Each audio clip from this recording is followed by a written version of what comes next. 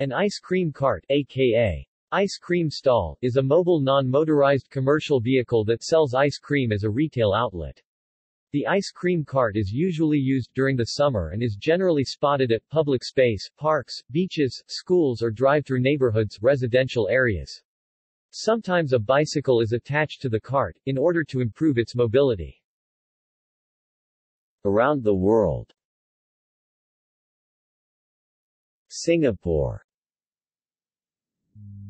these are available in three forms. It can be served in a cup, sandwiched in a folded slice of bread pandan or rainbow bread, or between two thin wafer biscuits.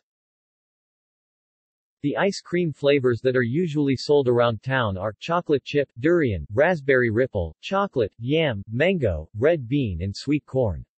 Other flavors include blueberry, mocha chip, peppermint chocolate chip, nata de coco, matcha, strawberry, cheese, caramel, avocado, cappuccino and more. The carts are run by Singapore's pioneer generation and they are generally found in crowded public areas such as the outside of the Cathay and many spots along Orchard Road in Bugis. Philippines Sorbetero See also. Ice cream van References